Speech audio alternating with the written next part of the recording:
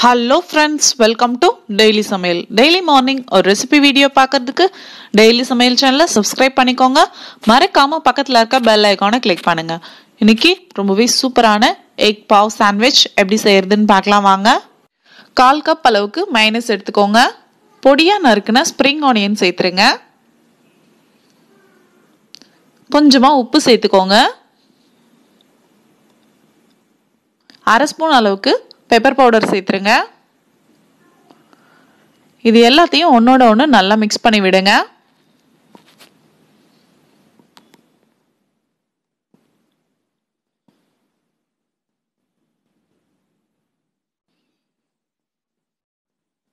பாருங்க மைனஸில் spring onion மசாலாலாம் நல்லா மிக்ஸ் ஆகிடுச்சு இப்போ ப்ரெட் ரோலை சென்டரில் இந்த மாதிரி கட் பண்ணி வச்சுக்கோங்க.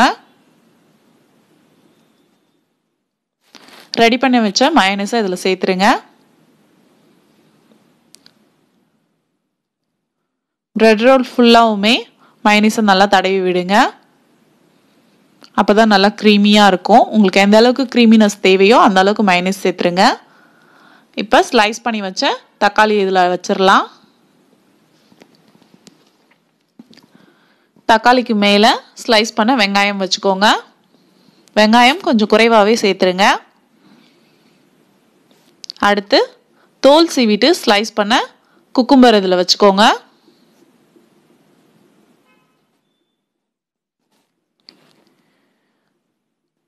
வேக வச்ச முட்டையை ஸ்லைஸ் பண்ணி வச்சுருக்கேன். குக்கும்பருக்கு மேலே இதையும் அடிக்கிடுங்க.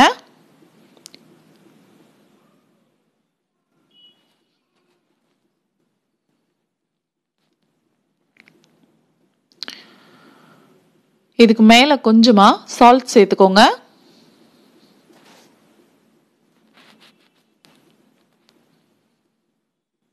உங்களுக்கு டேஸ்ட்டுக்கு ஏற்ற மாதிரி கொஞ்சம் சாண்ட்விச் மசாலா சேர்த்துருங்க. மசாலா தூவனதுக்கு அப்புறமா அதுக்கு மேலே கொஞ்சமாக ஸ்ப்ரிங் ஆனியன் தூவிக்கோங்க. இப்போ இந்த பாவ் சாண்ட்விச்சை க்ளோஸ் பண்ணிக்கலாம். க்ளோஸ் பண்ணும்போது லைட்டாக விரலால் அழுத்தி க்ளோஸ் பண்ணுங்க.